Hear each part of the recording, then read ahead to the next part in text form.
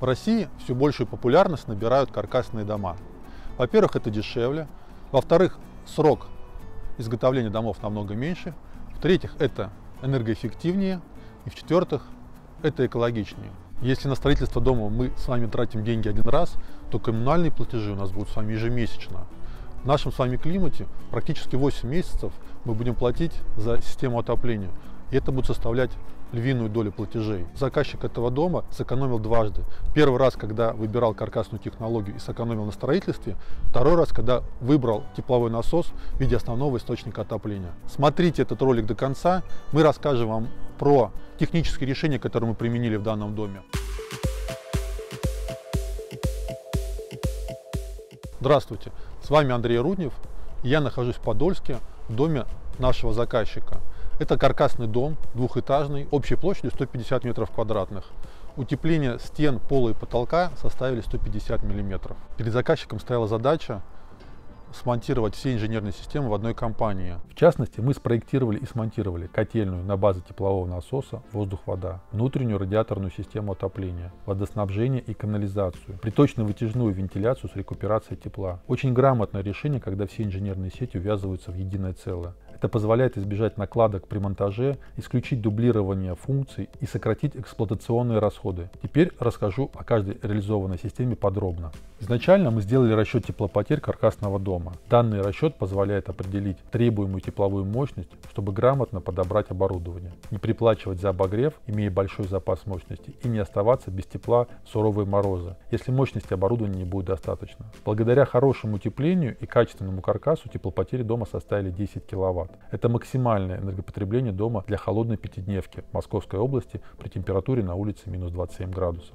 Стоимость подведения газа оценивалась более 2,5 миллионов рублей, и клиент выбрал альтернативный способ отопления с помощью теплового насоса воздух-вода. Мощность выбранной модели составляет 12,5 кВт на обогрев. При этом электропотребление всего лишь 2,8 кВт в час. Система состоит из внешнего и внутреннего блока. Наружный блок устанавливается на улице, на подставке либо кронштейнах. Задача внешнего блока воздушного теплового насоса – это отбор низкопотенциального тепла из воздуха на улице. Наружный блок воздушного теплового насоса состоит из большого вентилятора вентилятор и испарителя, внутренний из конденсатора и компрессора. Внутренний блок теплового насоса у нас расположен в котельной.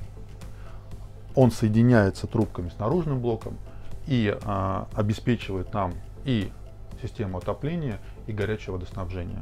Также в котельной у нас с вами расположен электрический ТЭН, группа безопасности, трехходовой кран, который переключает между системой отопления и горячим водоснабжением.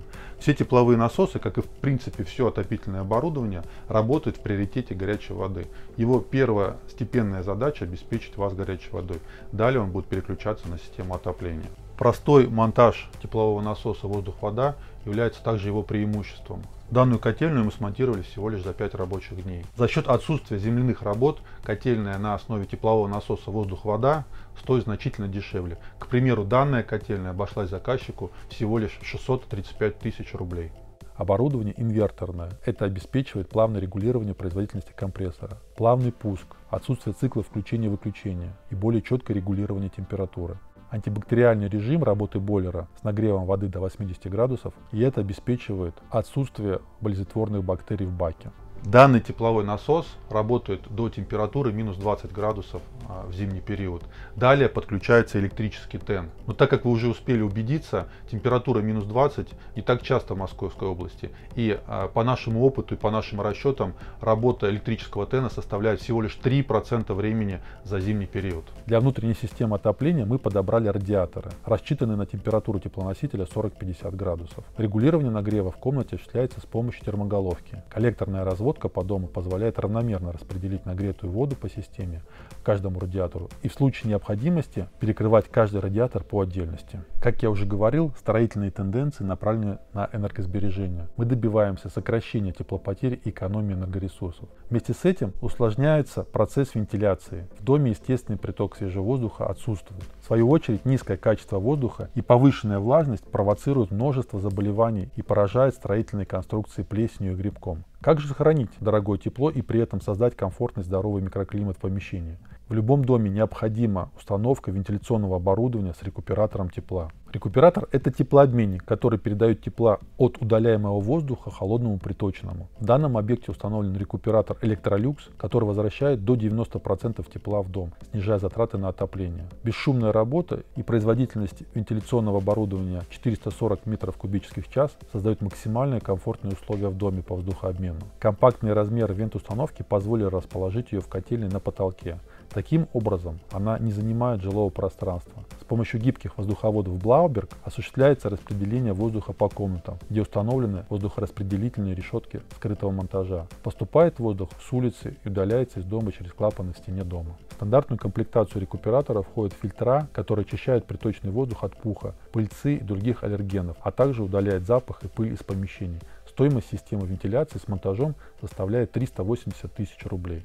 Итак, самый главный вопрос, который беспокоит наших слушателей. Сколько хозяин этого дома потратил на отопление? На примере 2019 года в зимний период траты составляли 2,5-3 тысячи рублей в месяц.